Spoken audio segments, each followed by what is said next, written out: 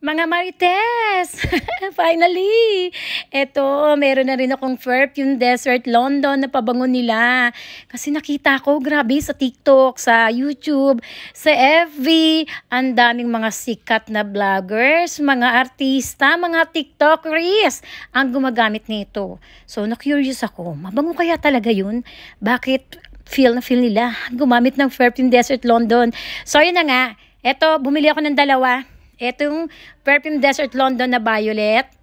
Kasi nga mahilig ako sa kulay purple. Ayan. And ito yung Perfume Desert London Yuzu.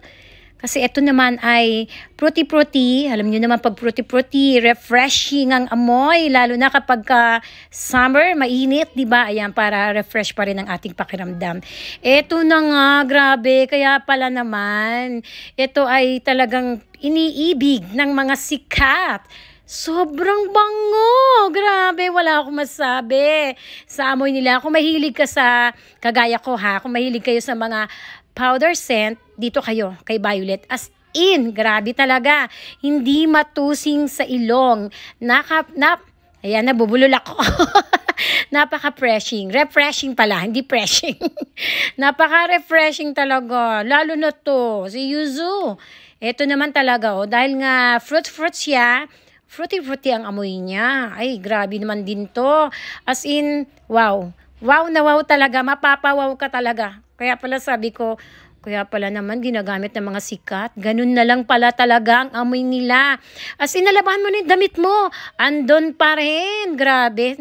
Pinaplansya ko yung damit ko. Andon. Ang amoy lalo na to si Violet. Ito yung sa ngayon ay pinaka, pinaka, pinaka, pinaka, ang daming pinaka uh, favorite ko. As in, favorite. Ang ganda ng amoy nito. Grabe, talagang yung jowa mo, ewan ko na lang. Kung hindi ka, kung hindi ka lapitan ng jowa mo. Kasi talagang ambango. Yung mga crush mo, mai-inlove na sa'yo.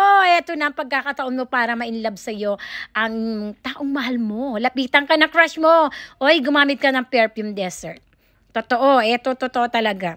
Sobrang bango niya. Ang sarap, sarap sa ilong. As in talaga. So, ayan. Kaya pala sikat. Si Perfume Desert kasi ganun na lamang talaga. Ang kanyang quality, ang kanyang amoy. Grabe talaga. As in. Kaya, mag-try na rin kayo kagaya ko para masabi nyo na, oh, kaya pala sikat. Kasi nga, ang amoy talaga iba. Pang mayaman.